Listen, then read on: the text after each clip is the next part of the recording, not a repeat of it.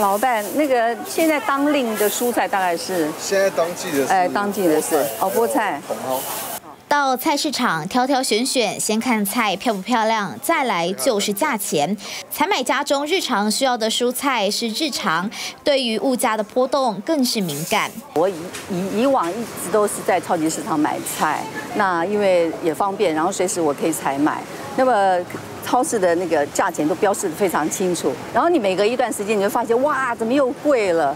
尤其是这一两年来的感觉更深刻，更更有感觉。所以我现在比较常在那个大型的一个果菜蔬批发市场买菜啊，就是。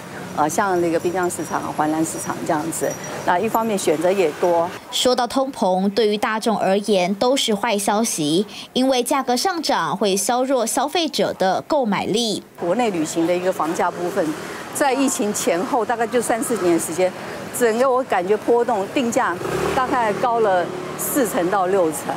对，然后还有它的观光的一个景区的一个提升特色的提升，好像也没有同步成长。但通膨不见得总是负面。纽约大学经济学家研究分析。一九八三到二零一九年间，通货膨胀对美国人整体财富的影响，发现财富排行百分之一，美国人身上的净通膨收益为六万三千五百美元，占平均年收入的百分之六点九。他有一些多余的资产，他这个资产可以去做创造其他的收入的话，那当然这个因为通膨关系啊，比如说我有房子租给人家，我租金会上涨嘛。所以对我来讲，那一套多出来的房子，因为通膨的关系，就让我的资产收入增加，所以变成他的财富可能会跟着上升。原因是通货膨胀可能导致资产价格，尤其房地产大幅上涨，因此有益于拥有大量资产或是债务的家庭，例如房贷债务占比收入很高的族群，或者是超级富豪。通膨对于财富处于第百分之四十到百分之六十的家庭受益最多，通膨收益将近四万美元，占年收入的三分之二。而研究中也发现，并不是每一个人都平等收益。收入最低的百分之二十家庭，没有房子也没有股票，将会在高物价时代活得更加辛苦。经济学家有常当常讲到，就 K 型复苏。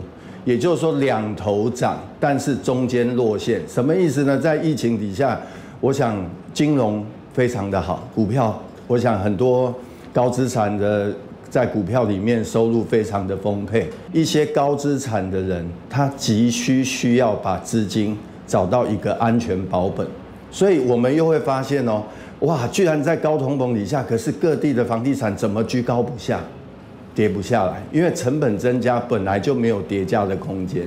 买进的不动产价值因为通膨上涨。根据统计，民众认为抗跌保值的投资标的，第一是不动产，占百分之四十二点二；第二是股票，占百分之十六点九；依序是现金、基金、债券以及黄金或是贵金属。现金总是要有一个去处，而且房地产最。自古以来，全世界首富七十趴都是透过房地产来倍增他们的财产。国内外政经局势变化大，不少富豪对于资金规划也更加谨慎。我们一般的社会大众，他可能是有钱，只是放在自自己自用的资产，或是放在银行存款。坦白讲，他对因为通膨的关系，并没有办法增加他的资产收入，哦，所以反而会因为他的消费支出增加了。会实质可能实质收入可能会减少，比方说可能他占我们整个资产金字塔的前百分之四十的人，他这些资产是多余出来的，可以去创造更多的收入才会增增加。经济学家米尔顿·弗利曼认为，通货膨胀就是一种隐形税收，因为它迫使人们得赚更多的钱来维持相同的生活方式，但也因为资产和债务的多寡影响实际收入。TVB 新闻陈如涵和嘉阳谢丹词台报道。想看最完整的新闻内容，记得下载 TVBS 新闻网 APP。